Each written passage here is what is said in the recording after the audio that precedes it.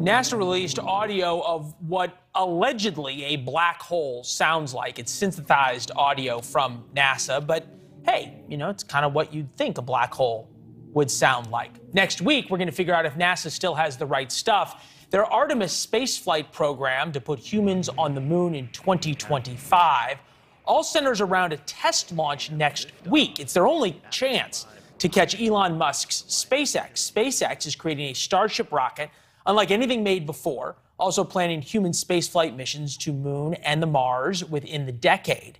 This could be NASA's last chance to stay at the forefront of space technology and win the race back to the moon. Joining us now, former NASA astronaut Colonel Terry Virts.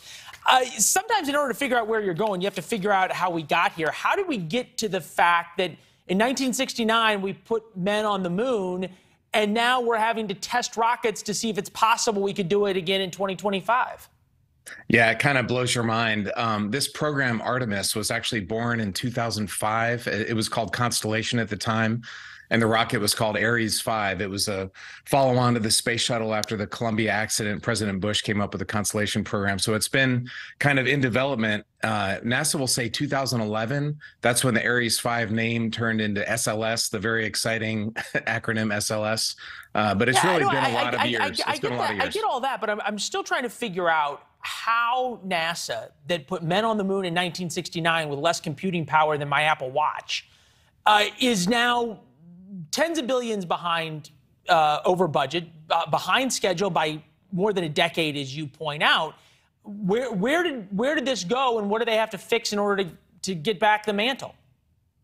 Well, I think there's something about the government um, procurement process. You know, the Air Force has problems, the Navy has problems with fighter jets and submarines, uh, and a lot of times the goal of the government is just to keep itself employed and keep bodies, you know, at, at this at the different sites, whereas companies have to get their equipment built and operational or they go out of business. And so there's definitely a different incentive yeah. level with the private sector than there is with the government.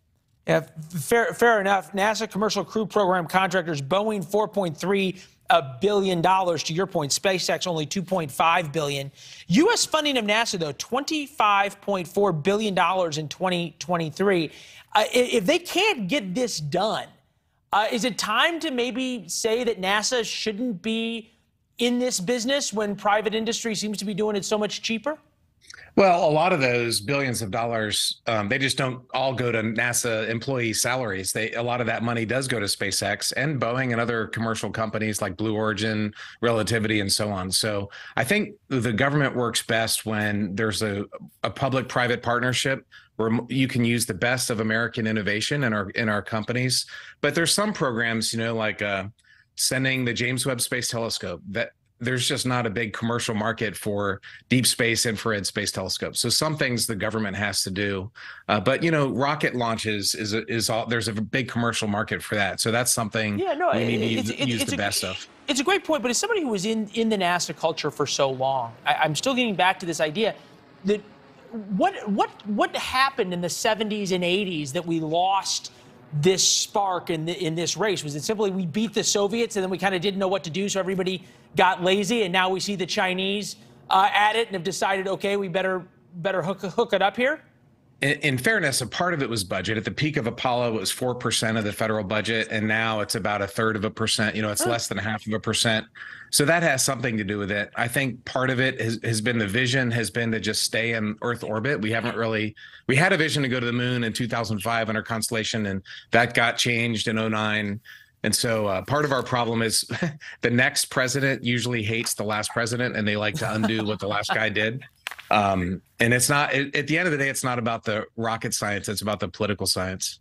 Uh, that that's a good place to good place to leave it. As you point out, the rocket scientists uh, still still have it. Uh, it's good to see you, sir. Thank you. Thanks for having me on. Ho- ho- hopefully, we'll talk when people are heading to the moon. It'd be fun. I'll see you soon. Let's do it. Let's do it. Thanks for watching. Go to newsnationnow.com to find News Nation on your television provider. And don't forget to subscribe. Click the red button to get more of News Nation's fact driven, unbiased coverage.